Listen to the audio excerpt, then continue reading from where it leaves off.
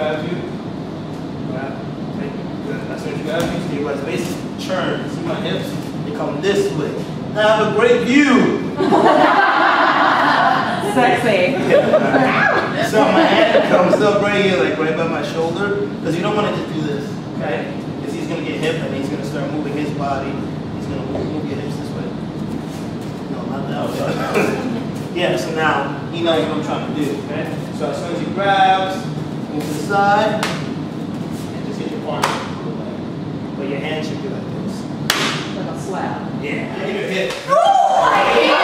Yeah. Yeah. No, no, it's holding it. Remember. No, it's it's open. I am Move your hips. Yeah. Don't say you're ready. Don't say you're ready.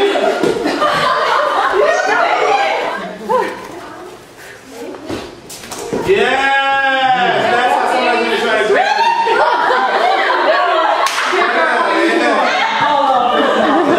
One, two, step.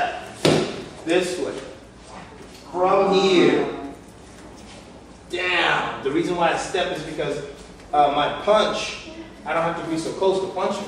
But if I'm doing my elbow, I need to be really, really, really close to him.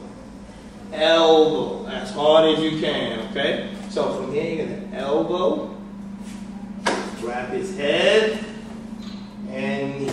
Wow. Now, this person should be in trouble after this, okay? You should be able to take the star.